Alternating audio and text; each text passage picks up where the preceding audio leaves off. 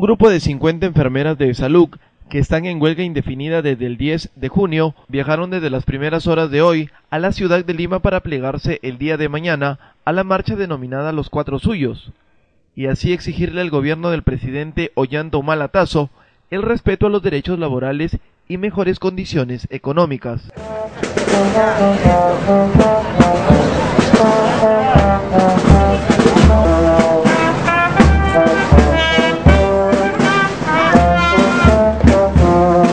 A nivel nacional son 85% de enfermeras de salud que acatan la huelga indefinida hace un mes. Ellas suman un promedio de 10.000 profesionales. A nivel regional son cerca de 850.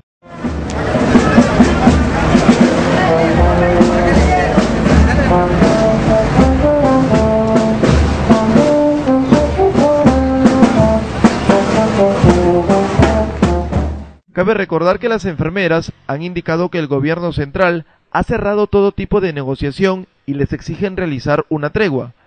Sin embargo, las protestantes no aceptan, anunciando que en los próximos días radicalizarán sus medidas de protesta y no descartan con entregar los establecimientos de salud.